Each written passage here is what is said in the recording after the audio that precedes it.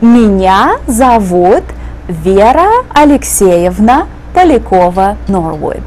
După cum precizează reprezentanții Inspectoratului Școlar Județean Neamț, această olimpiadă la limba rusă și la limba croată este un bonus pentru învățământul nemțean din partea celor din conducerea Ministerului.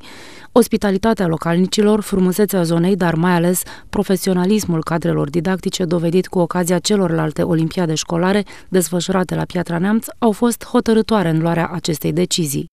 Desfășurarea probelor va fi la Colegiul Tehnic Gheorghe Cartianu, începând cu ziua, bineînțeles, de luni, de primirea uh, oaspeților, uh, iar probele începând de marți, bine, vine și Comisie Națională, care e formată această comisie și din membri ai Ministerului, precum și profesori universitari, deci va fi o întrecere la nivel înalt, astfel încât noi, ca gazde să dovedim încă o dată că uh, cred că uneori e mai greu să mențiți uh, ștacheta ospitalității decât să arăți cât de bun suntem.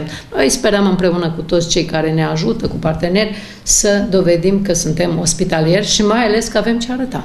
Printre organizatorii evenimentului se numără și comunitatea lipovenească.